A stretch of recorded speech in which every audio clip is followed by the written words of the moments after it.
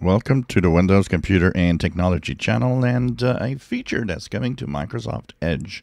Actually, possibly to a lot of browsers. Uh, even Chrome is talking about it. And it has to do with a feature that will kind of called Instant Update.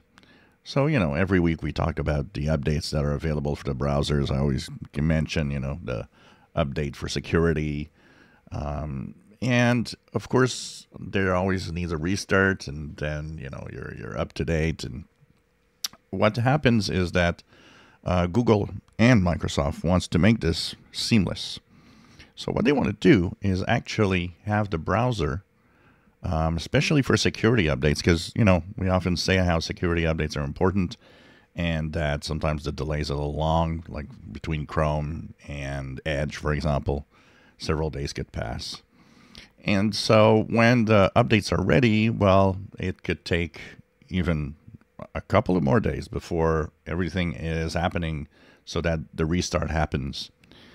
So um, Microsoft wants the updates to actually apply themselves with a series of checks. So it's going to use kind of some AI for it. Uh, Chrome, Google wants to do the same thing.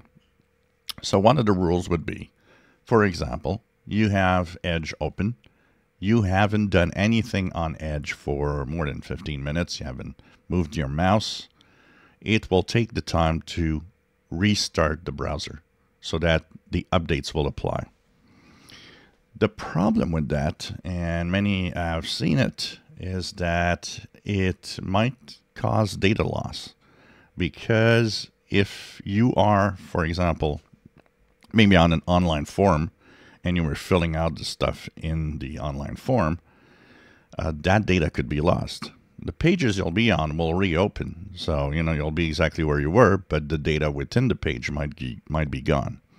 So this is something that really needs to be, um, I think, thought up really, really well because you don't want that situation to happen. I think it would be kind of sad that you've took you know several minutes applying or you know answering questions on a website.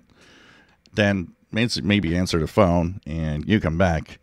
Oh the web page there but everything that was written in that you answered is now to answer again.